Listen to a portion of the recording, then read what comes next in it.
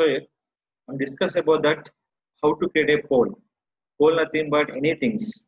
If you come into politicians or any kind of interview questions, any kind of education, any kind of services.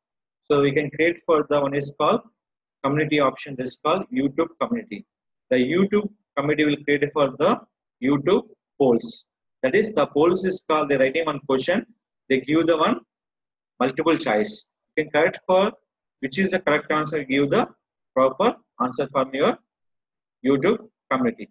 So any YouTube channel once enable this commit option when you got the 4000 hours of views and 1000 subscriber we can create for your poll option add a poll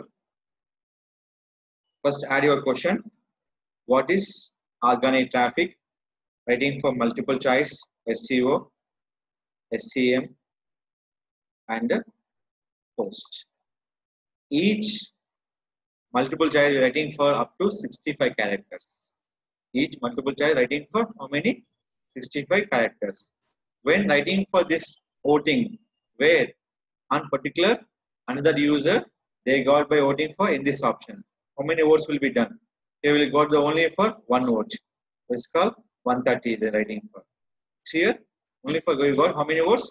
One votes when you got the how many votes they coming to where? In this community option. You create for poll is called engagement on your customers engagement your subscribers the based on increase your channel subscribers. Channel subscribers. There's very effect on your youtube community. This using for create a poll option. When enable youtube community you can create poll on where? Youtube channel.